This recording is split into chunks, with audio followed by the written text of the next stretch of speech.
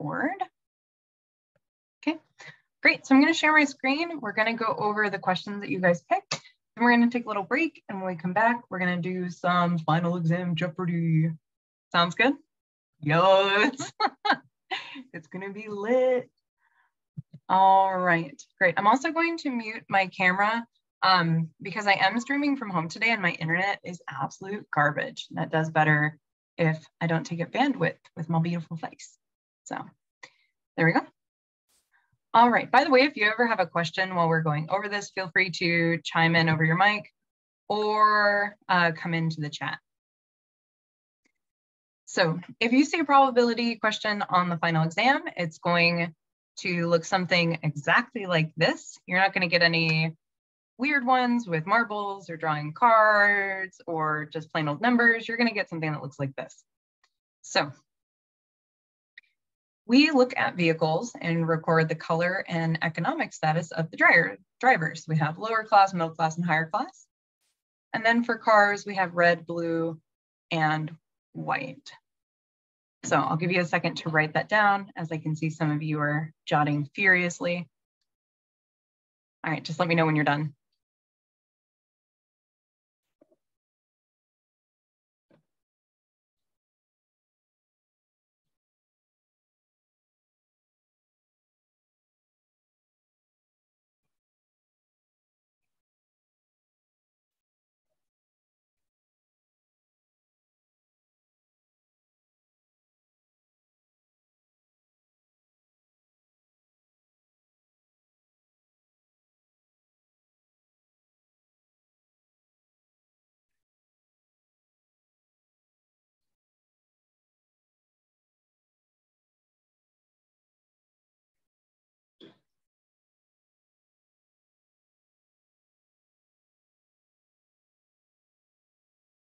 Thanks, Tiffany.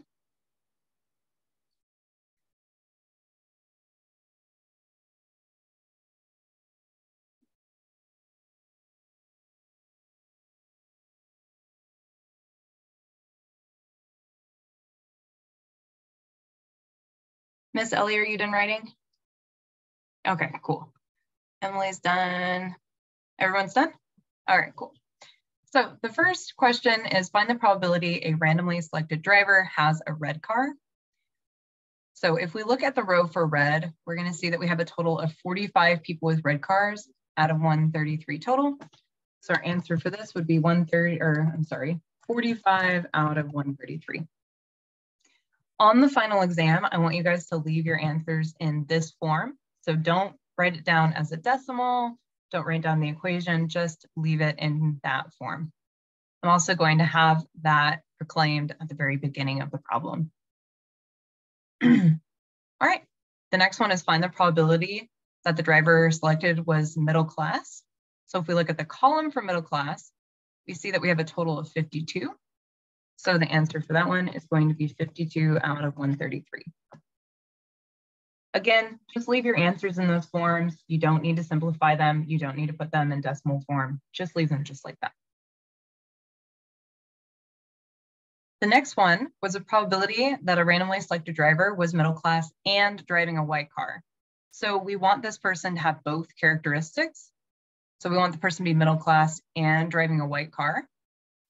We have 13 people that fit those characteristics. So that is going to be 13 out of 133.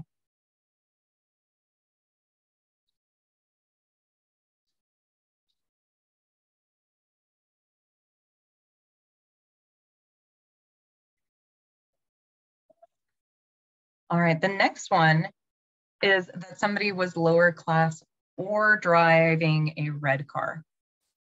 So for this one, we're happy if somebody has the characteristic of lower class or if they have the characteristic of driving a red car. So since this is an or probability and we have people that overlap in both categories, this is where we're going to do that subtraction. So we're going to take the total of people that were lower class. So we have 32 of those people. Add to that the number of people that were driving a red car. So it would be 45. But in adding those 32 lower class folks and the people that were driving a red car, we counted these 13 people twice. So we need to subtract them once. Oops. And then divide that by our total. So the final answer that I would like to see on the exam would be 64 out of 133.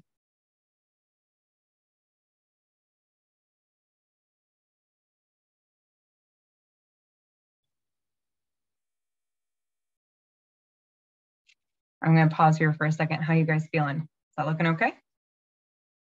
Any questions so far? All right, good. All right, now this is everybody's favorite kind of probability, and I'm being super freaking sarcastic, by the way, is the given. So when it comes to doing a given probability, like the probability that somebody was higher class given they were driving a blue car, what the given part means is that we're only going to be looking at the people that were driving a blue car. So in this example, we're only looking at these people. So what the given part gives us is that's going to give us the denominator. So we're only looking at 55 people. And out of those 55 people that were driving a blue car, want to know what's the probability that those 55 people may have been higher class. And we have 31 people. So remember, the given part, so given they were driving a blue car, that information is going to give you what your denominator was.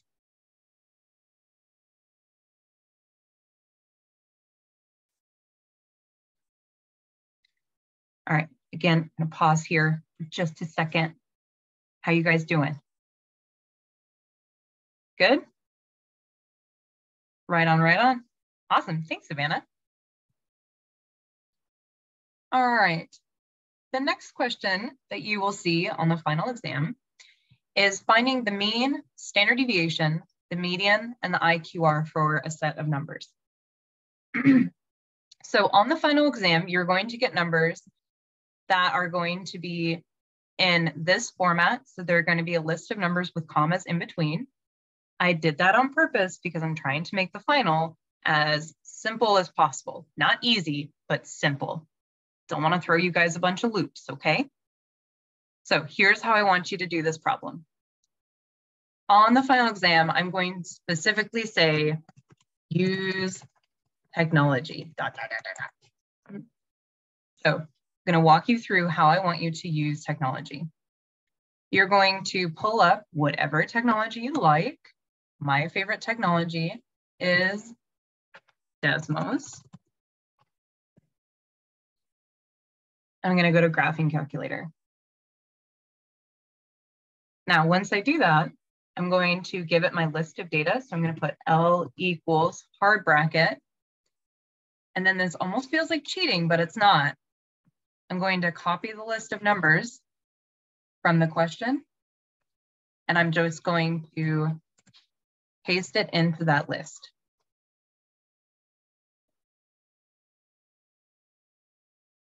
From there, I'm going to use those Neato commands to tell me what the mean of my data is. So mean parenthesis L parenthesis. The standard deviation, remember that's stdev of L. The median of L.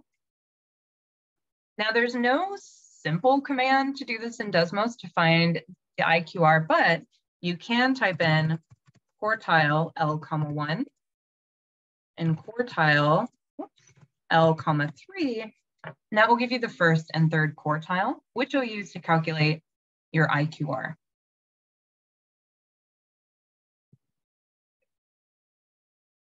So for this problem, my mean would equal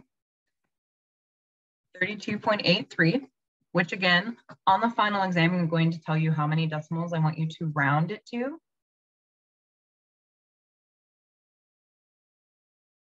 I'm going to put that the standard deviation equals 22.25. The median was 38.5. And the IQR remember to calculate the IQR, you're gonna have Q3 minus Q1. So in our case, that's gonna be 46 minus 12, which is going to give us an IQR of 34. So use technology on these guys for sure.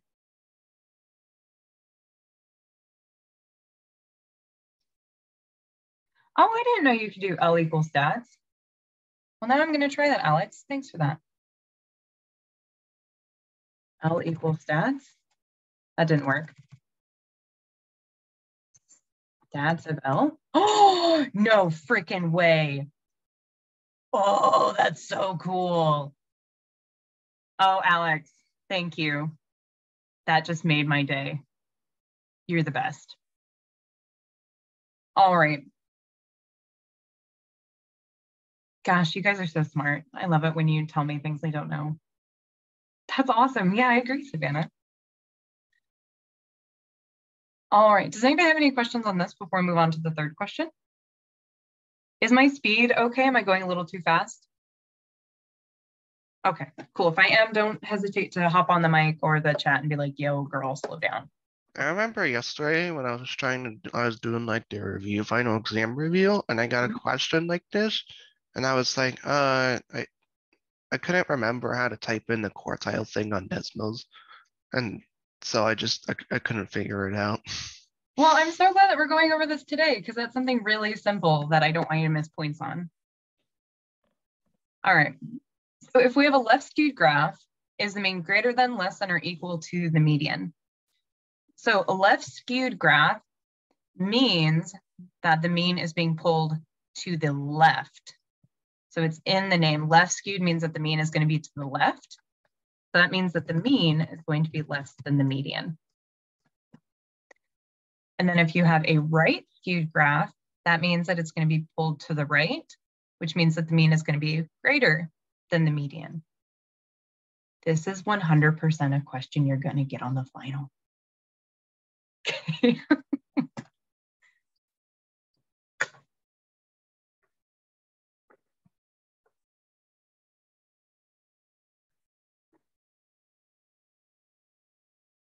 Oh, thanks for that tip, Alex. Alex put in the chat, if you ever forget, you can also click the keyboard button at the bottom and click functions and scroll down to statistics.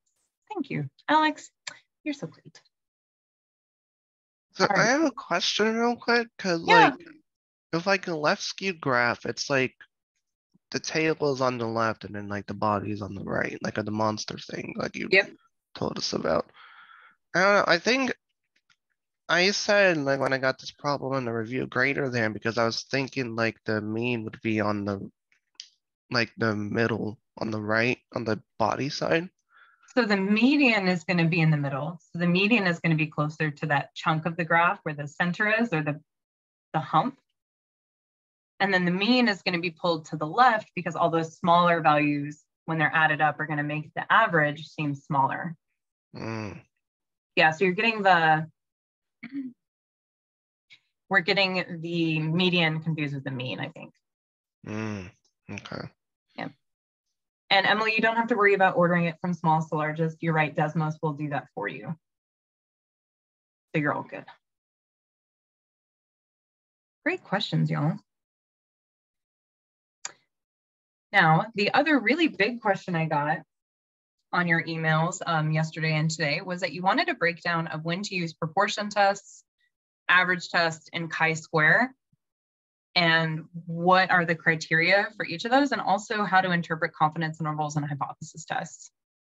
So for this one, I'm going to get a little bigger area. So for confidence intervals, we're going to use the proportion test when we either are dealing with a proportion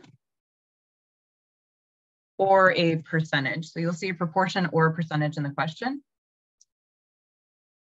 And you're going to be doing a confidence interval using an average test if you see an average and a standard deviation. So it has to have both in order to complete a confidence interval question.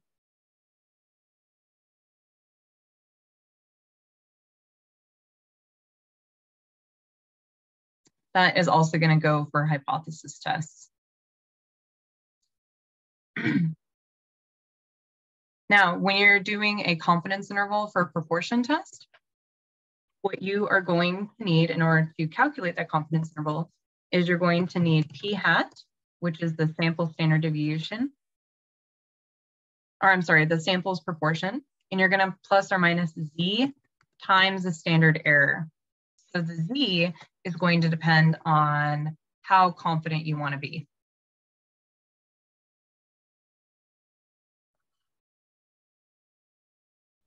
So is the like proportion test and the average test the same as like the z test and t test thing? Yep. Okay, because I I seen that that's one of like the last things the other info to remember, and I just wanted to make sure this was the same as that or not. Yep, you are correct. And then to calculate the standard error, that's going to be p hat times 1 minus p hat divided by n, which I am going to ask you to calculate on the final.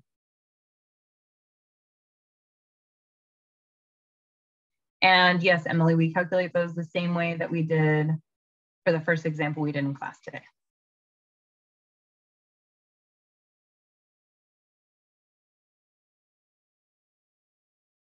All right, and then if you wanna find the confidence interval when you're looking at an average, it's gonna be similar. So you're gonna have X bar and you're gonna have plus or minus T times the standard error. And the standard error for this is going to be S divided by the square root of N. And remember, you're also going to need the degrees of freedom, which are going to be N minus 1.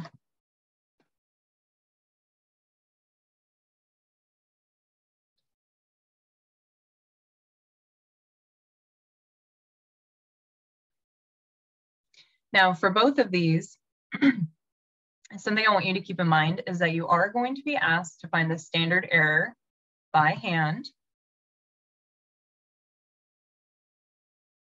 But when it comes to finding the actual confidence interval, you can do that using technology. So you don't need to worry about finding Z or finding T.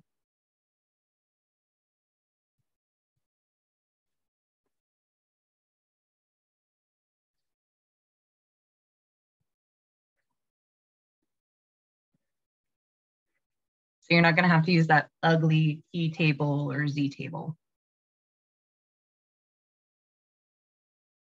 And confidence intervals aren't something that apply to the chi-square test, so you don't need to worry about it.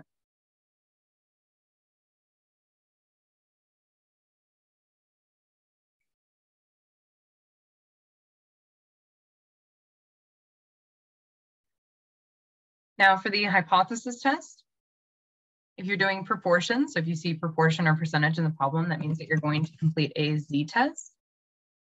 If you see averages and standard deviation, remember you have to have standard deviation or you can't finish the problem. That's going to be a t-test. And if you see a two-way table or categorical data, then you're going to be doing a chi-square test, which is in the name chi-square.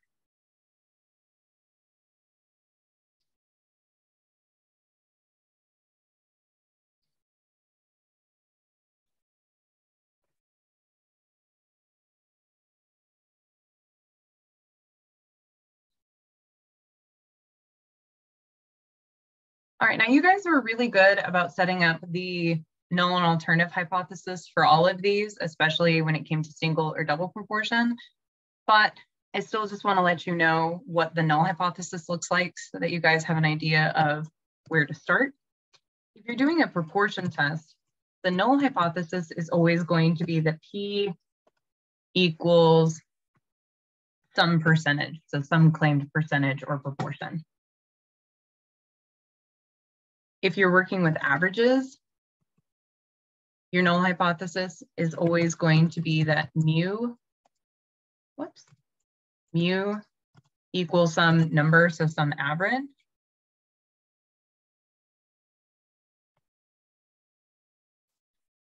And when you're dealing with chi-square, it's always going to be these two variables are independent Hey, chi-square, stay in your lane.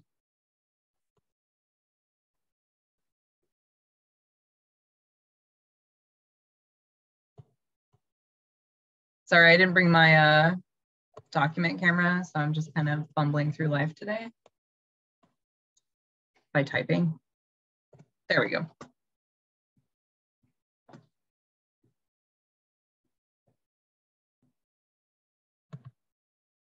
All right, now I'm not gonna write the next part down because you guys know this. You know this. After you run it through the technology, you find the p-value. And if P is low, you reject HO. You guys are dynamite at that. You already know that. Yeah, so uh, Tiffany mu will be the average for sure.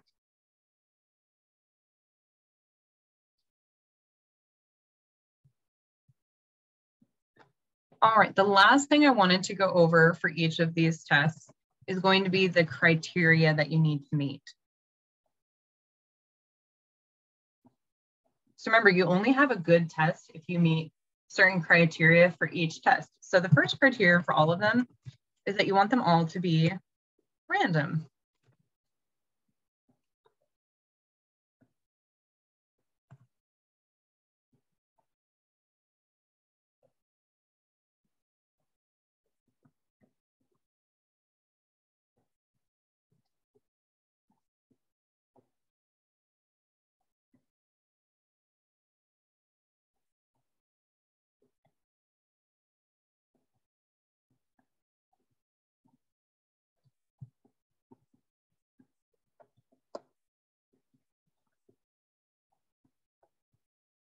Sure, Alex, we can definitely do that.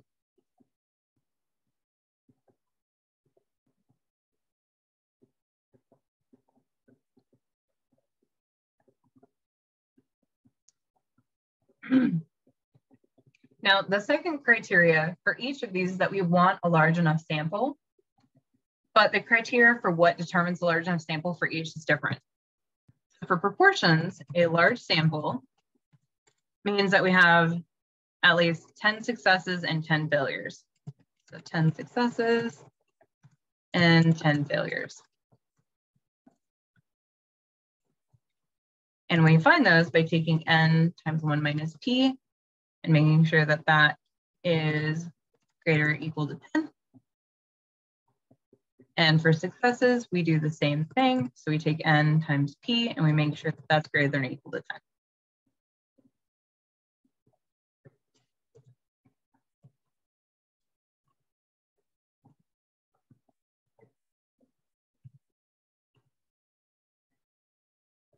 For an average, we wanna make sure that the sample is at least 30. So that's pretty easy. Is it 30 or bigger? Yes or no? And finally, for chi-square, to make sure that we have a large sample, we want the expected value to be at least five in each cell.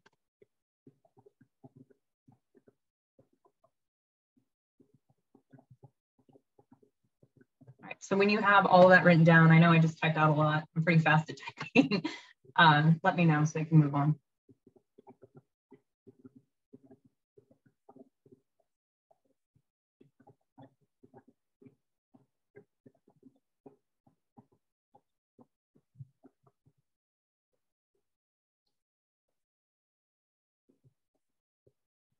Yes, mu is the average for the population.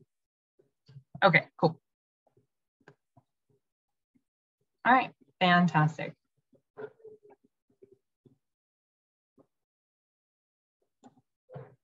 All right, this bleeds into the next question, which is interpreting hypothesis test results. So if p-value is low,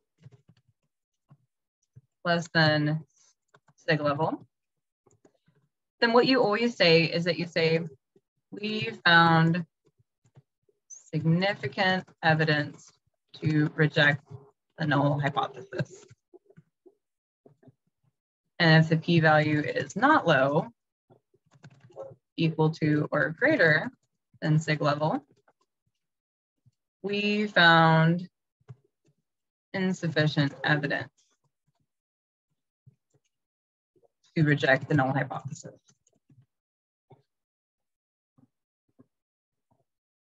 You guys want me to save this document and email it to you? Would that help? So that you're paying attention instead of furiously writing things down? Okay, you should just ask. I would have. I can definitely do that. All right. The next thing is interpreting the confidence level.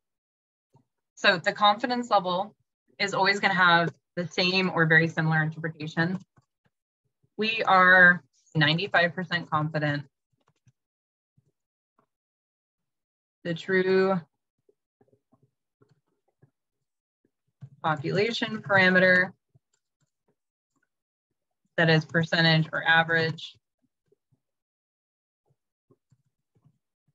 falls somewhere on our confidence interval.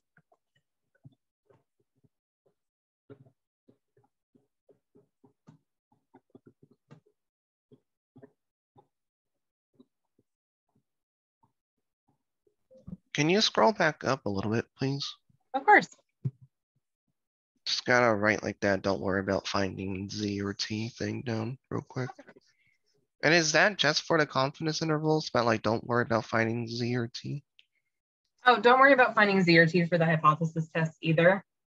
The calculator will do that for you. Okay, so it's just like in general, don't worry about finding. Yeah, in general, don't worry about it.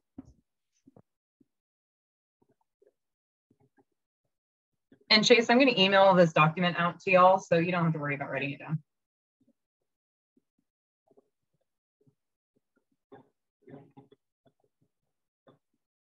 All right.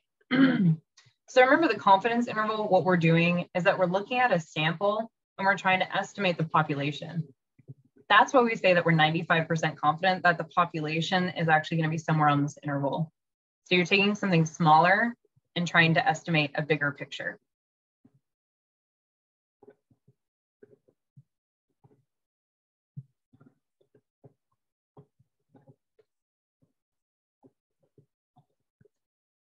All right, number seven.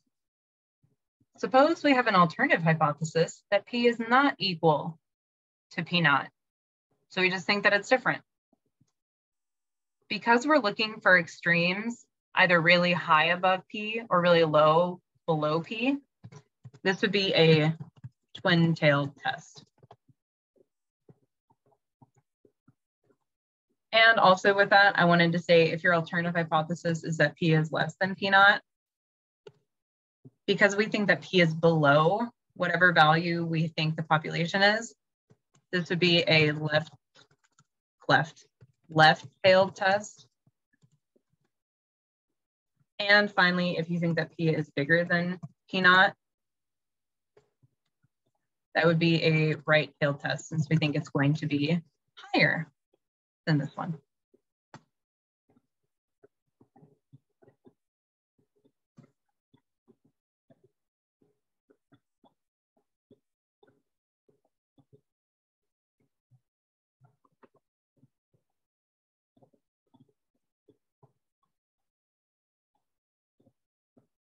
All right, so far so good?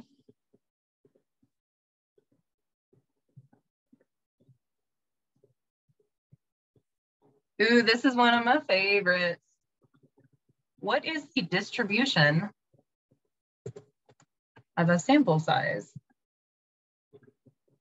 Or it should just be of a sample. Remember, if we take a lot of samples over and over and over again, most of our samples are going to reflect the population.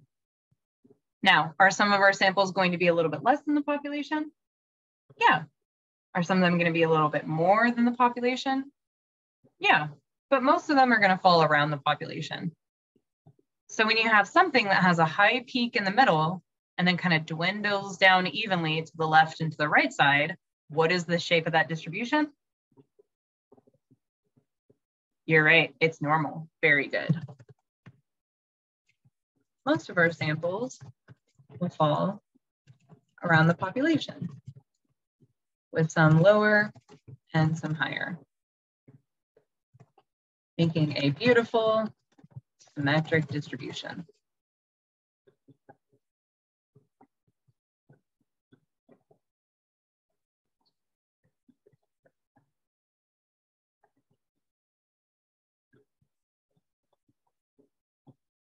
You don't have to write that it's beautiful. You can just write a symmetric distribution.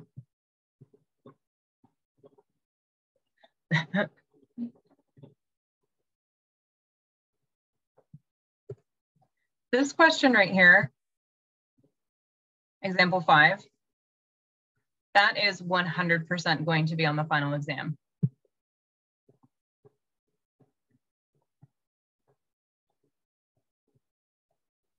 Actually, almost all of these are going to be on the final exam. Otherwise, I would have told you to not worry about them. So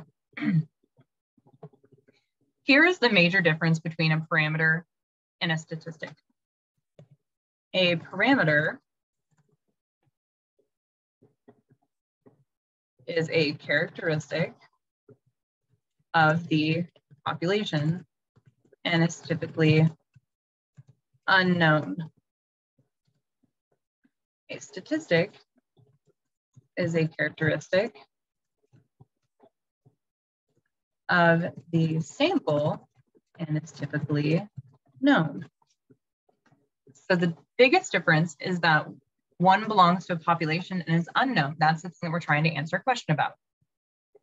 The other is that a statistic comes from the sample, which we collected and analyzed, so we should know what the statistic value is.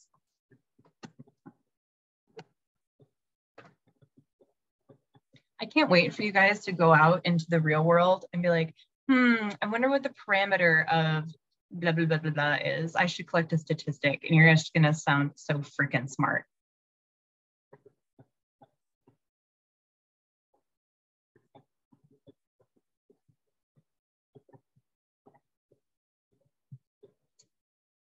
All right, so with that said, and the other knowledge that I just gave you, when finding a confidence interval, we are using the blank to estimate the blank. So what do you think? When we are finding a confidence interval, we are using what? A parameter or a statistic? What do you think? Ooh, nice job, Riley. I see you mouthing it over there. We're using a statistic because we're using a sample.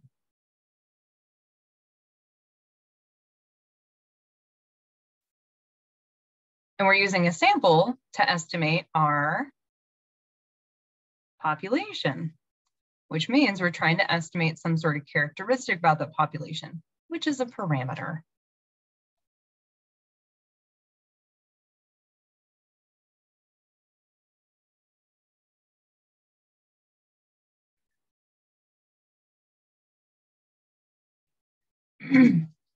All right, I have one last thing that I want to say before we move on to the next part of this um, section. And that is that randomness reduces bias, which increases accuracy.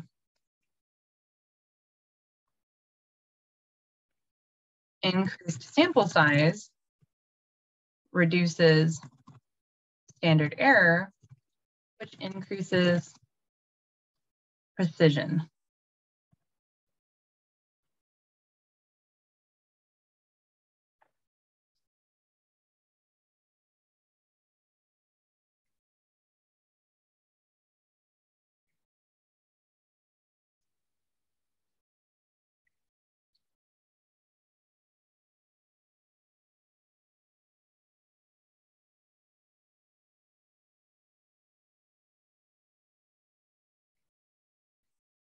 All right, so far so good? Okay, cool beans. So I'm going to click the save button, even though I don't need to. This is on automatic save.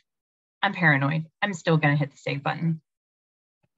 Okay, and I'm going to save this as a PDF and email it to you all after class so that you can look it over, print it out, sleep with it under your pillow, in hopes of osmosis. Okay, good. So now that that is done, I'm gonna turn my video on because now it doesn't matter if the video does its own thing. Uh, Alex, you wanted to go over a question that had to do with mean and proportion. Can you tell me if you wanted to look at one that was um, a hypothesis or a confidence interval question?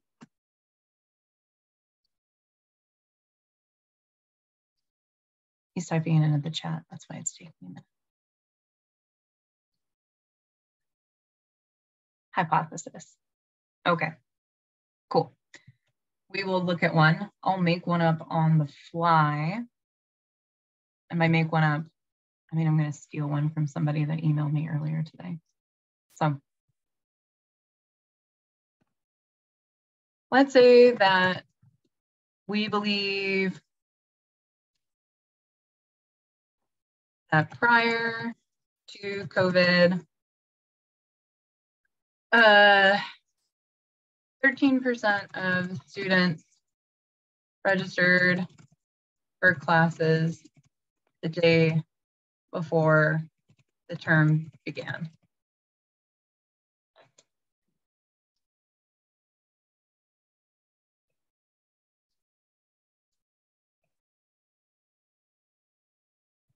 We think that number has changed since COVID. We randomly sample 78 students and find that nine registered for classes the day before the term began. Is this the kind of question you wanted to see, Alex?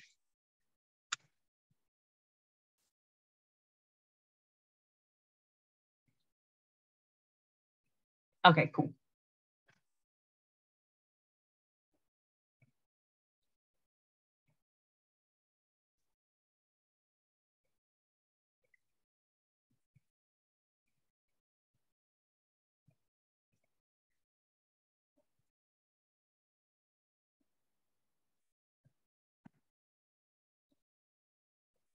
All right, so the first thing that you want to do after you get the problem written down, um, which I can email this to you too, so you don't have to wildly scribble on a piece of paper, is we want to state the null and alternative hypothesis.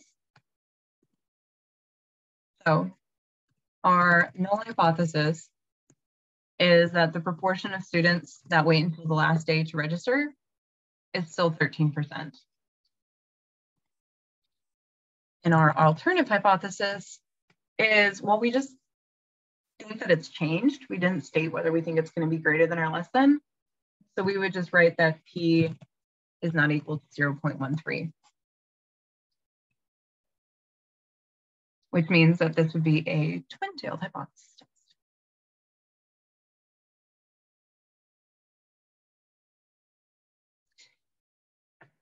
All right, now before we go entering this into our technology on Canvas, it's probably a good idea to figure out what p hat is just in case we need it. So remember, p hat is going to be the proportion that you saw in your sample. So we saw nine students register the day before classes out of the 78 that we randomly interviewed.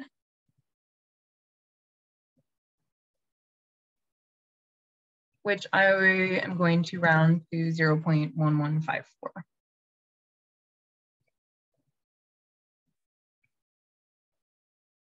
Now that we have all that good information, we're ready to use our hypothesis test calculator. So I'm gonna pull that up real quick. Wouldn't be a bad idea to have a list of pulled up when you're doing your final. So I'm gonna go here, I'm gonna go to technology and resources. I'm going to open up that sweet, sweet hypothesis test calculator. And since I just have the one sample, I'm going to do a single proportion hypothesis test. So our null proportion was 0.13. Our sample proportion was 0.1154. Our sample size was 78. All the rest of that looks good. So we get our z-score and our p-value. So when you're writing this into the homework or the final exam, gosh, it's so crazy to think that you guys are about to take your final exam. That's nuts to me. I feel like I just met you all. Hmm. All right. So your Z test statistic would be negative 0.38. And our p-value would be 0.7014.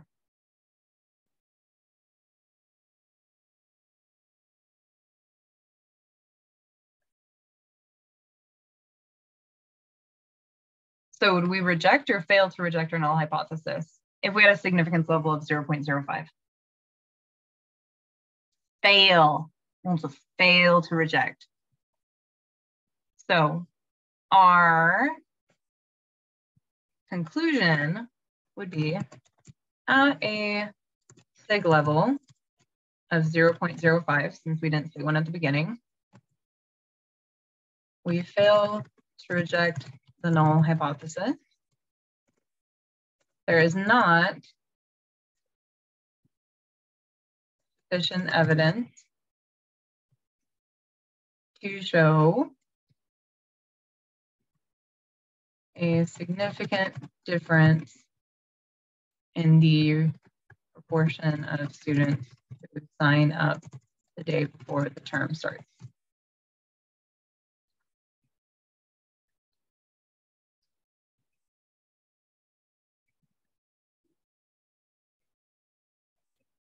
Sure, Emily, we can do that for sure. All right, Alex, did that um, help answer your question?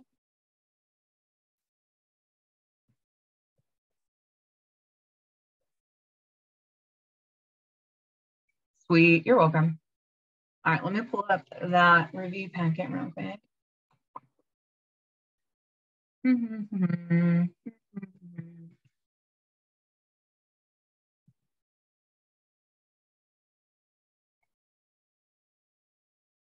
All right, so Emily, you wanted to look at unit four, example two.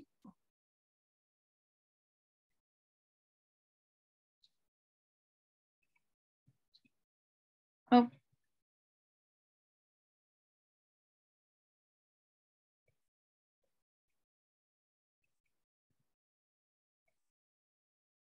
Oh, this is a great one.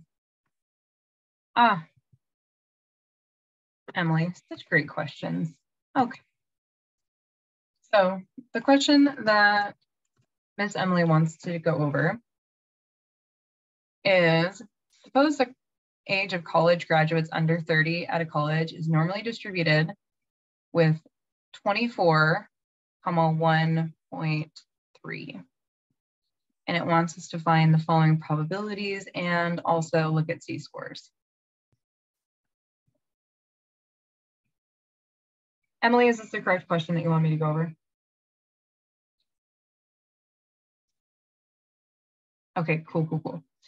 So do the first three questions um, on this example, what we're going to do is you can definitely do it by hand. I don't suggest it because you're going to be doing a final exam and yeah, just why. Um, so what I suggest you do is I suggest that you use the normal distribution calculator, which is going to be in,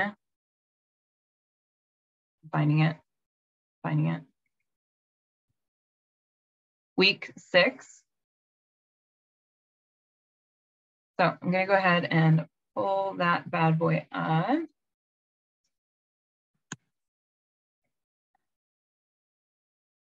Okay, so we're gonna be using this calculator to do most of our work. So we know that these college students have an average age of 24 with a standard deviation of 1.3. So if we want to find the probability that a student is 23 or younger, then we can just type that right in there and find 0.2209 for our solution. And then if you want to find the probability that a student is 23 or older, two things that you could do.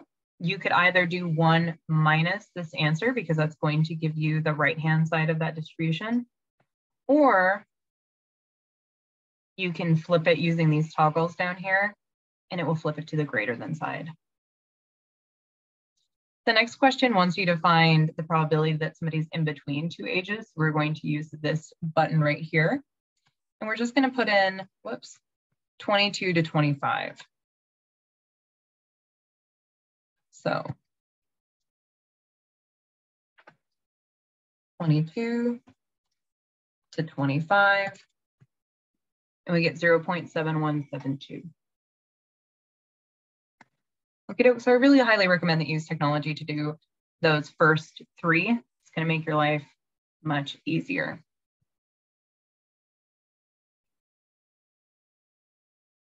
Now, for the last two, we're not going to use technology. We're going to use formulas that have been, gosh, it's been like four or five weeks since we looked at these. So we have two formulas for the z-score. The first one is z equals x minus x bar divided by the standard deviation. And the other one that we have is that x equals z times the standard deviation plus x bar. So you're going to use one of these depending on what you're trying to find. So for this question, since we have the z-score, we want to find the student's age, we're going to use this second formula here. So to figure out that student's age, which is going to be x, we're going to have negative 1.8 times our standard deviation, which is 1.3. And then we're going to add 24.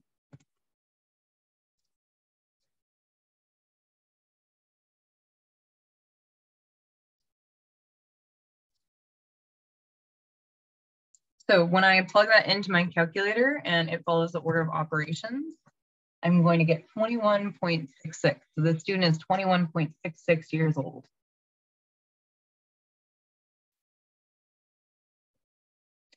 I'm also going to stop for just a second and ask myself if my answer makes sense.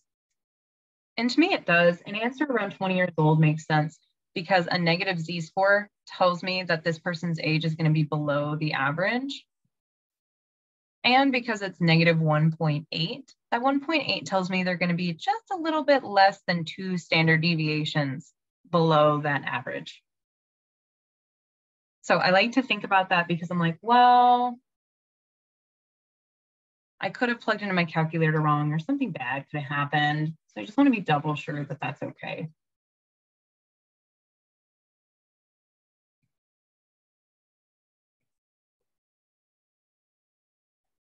Finally, the last question says, who would be older, a student with a z-score of negative 0.8 or a student with a z-score of 0.3? So who would be older?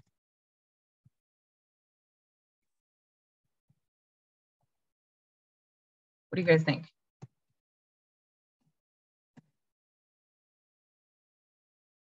So even though negative 0.8 is further away from the average, it's going to be lower than the average. So the student that would be older would be the one that has a positive z-score since they're going to be slightly above the average. So Good job, Riley. I saw you mouthing it. I see you, girl. Good job. so who would be older? The person with a z-score of 0.3.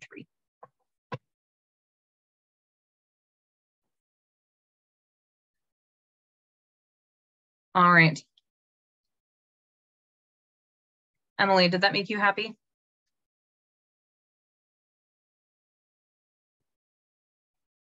Hopefully Yes, Barry. Okay, great. Yay. It makes me happy too because I we went over these equations right here so long ago. I felt like it was um it was a good idea to go over them again.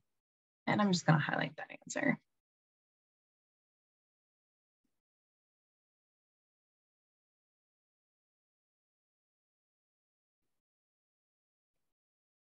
All right, looking good.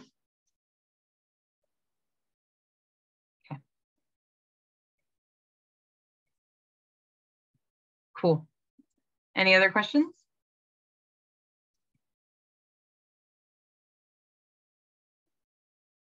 I do have to say that I went through the um I went through the final exam this morning and I removed like three questions that I thought were hard and replaced them with some easier questions. So hopefully you guys will have a good time. Yeah, I tried to make it um, more more fair, more easy because you guys have been through hell this term. So, you know, not just my class, but just like in general. All right, so nobody has any questions left? So I have a question real quick, and this is also on like unit four. Okay. Um, it's the third example. and It's like the one question I have about it is how do you determine the possible outliers again? Oh, that's a good one. Um, while most likely not going to be on the final, I am going to tell you how to do that. Just one second. Um, extra review for math. I want to make sure I save the file before it goes away forever. So when you want to find the possible outliers, you take Q1 minus 1.5 times the IQR and Q3 plus 1.5 times the IQR. And if a number is outside of that range, it's a possible outlier.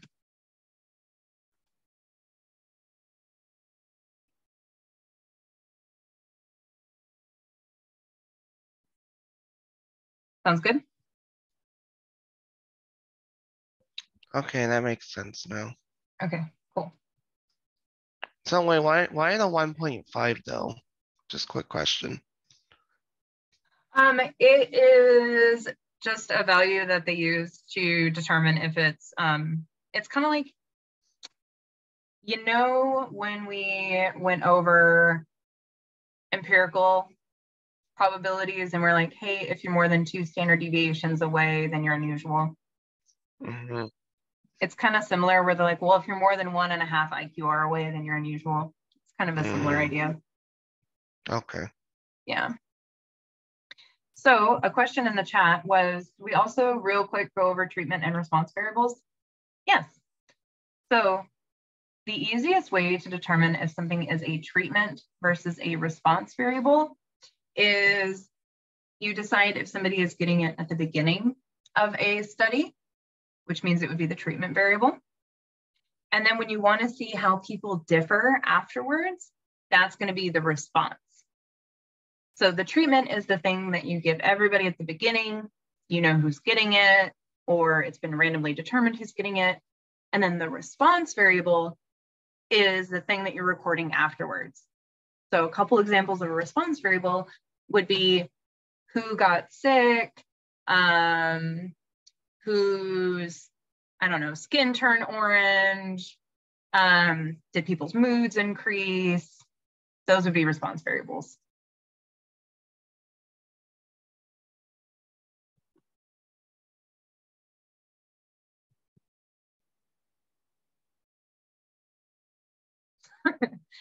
Sorry, Tiffany, I made a joke about my voice breaking up. But I'll type it into a chat and I'll just say it one more time. So the treatment is what we give at the beginning. And the response is the variable we measure at the end to note differences. For example, response would be person got sick, how much weight they lost, if their skin turned orange, etc.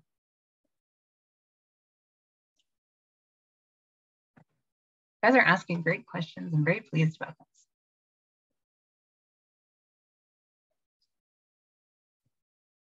All right, any other questions? Hmm. Hmm.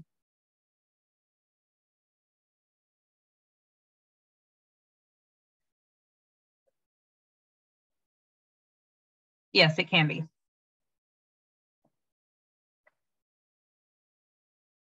I have a question for you guys. Are you ready? If you read the syllabus at the beginning of the term, what do you think is my favorite color? Purple. Purple? I was, I think it was purple. Yes. In the syllabus, I stated in a secret section that if you actually read the syllabus, to email me the color purple in order to get extra credit. So if you did not do that, let it be a lesson to you to read the syllabus because there might be an Easter egg.